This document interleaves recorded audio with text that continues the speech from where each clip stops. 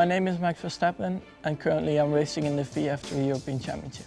I stepped up from karting last year where I won twice the European Championship and once World Championship in 2013. So um, I finished off that quite good and uh, yeah, I didn't expect to do it so well in my first year in F3.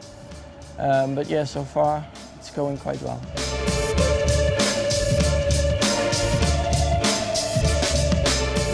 Four years old, I was on a go-kart track and I saw somebody driving. He was even younger than me. So um, I called my dad and I said I wanted to have a go-kart, but he, he said no. He wanted to, he wanted me to start at six. But then after I kept pushing to have a go-kart and uh, I finally started when I was four and a half.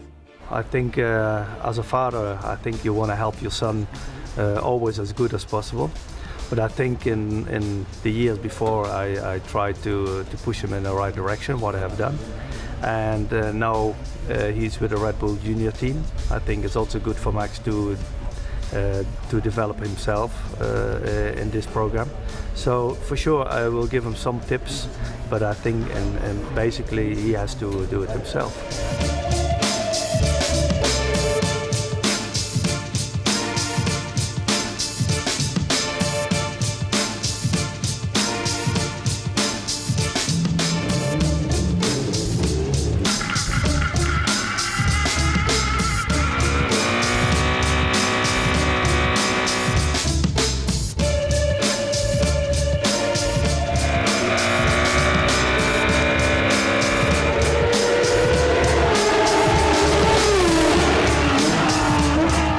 It was a wet day, so uh, I only could drive on rain tires. But uh, yeah, it was good to experience the speed because I mean the difference compared to this car and F3 is is quite a gap. So uh, that yeah, that was good to experience, and also for the future, I think it, it helps me. At the moment, I think I start to realize it a bit more when you see an F1 car. But I think you completely realize it when you are the first time in an F1 car.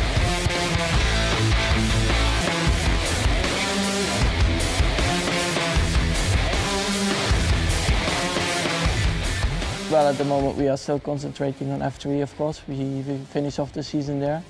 And uh, from there on we will see what decisions we, we take. My big dream is F1, of course.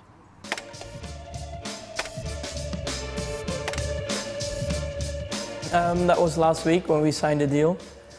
Um, yeah, I couldn't believe it in the beginning. But um, yeah, I'm, I'm really, really happy at the moment. Of course, I, I will do a lot of training from now on uh, to be prepared for, for the big step. And um, yeah, I think the age doesn't really matter. Uh, he did an unbelievable job uh, this year uh, in the Formula 3 Euro Series where he won seven races so far. Um, I think he has the natural talent and now it's, uh, you know, now he has to, to, to develop himself. F3 is quite a tough class and uh, you saw already some drivers who got from F3 or GP3, they become a Formula 1 driver. So um, yeah, I just continue to do my best and from there on we will see.